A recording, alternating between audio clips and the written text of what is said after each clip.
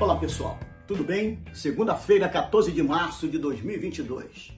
Temos falado frequentemente sobre a importância da segurança na movimentação de cargas e no nosso papo técnico desta semana vamos falar da importância das inspeções e certificações dos cabos de aço a fim de garantir a segurança e a qualidade das operações. A inspeção diária dos cabos de aço faz parte da rotina do operador do guindaste. Tão importante quanto checar a água e o óleo do guindaste antes de ligar o veículo é a inspeção de todos os materiais de trabalho, inclusive o cabo de aço. Independente das inspeções diárias do operador, os cabos de aço são inspecionados periodicamente por um profissional experiente com conhecimento técnico a fim de detectar se este cabo de aço não sofreu nenhum dano que possa comprometer a sua segurança.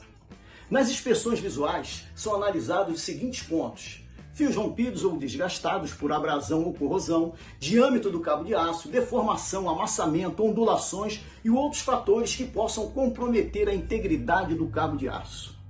Havendo necessidade de uma análise mais profunda, o cabo de aço será encaminhado ao fabricante, que após análise fornecerá um laudo técnico com parecer que determinará o sucateamento ou não do cabo de aço.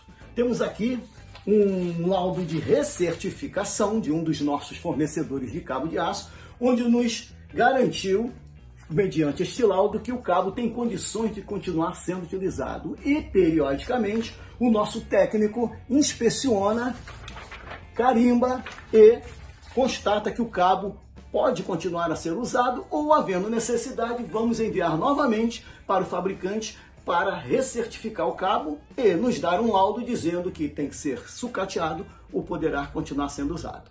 Perdeu algum papo técnico nosso? Veja nas nossas redes sociais.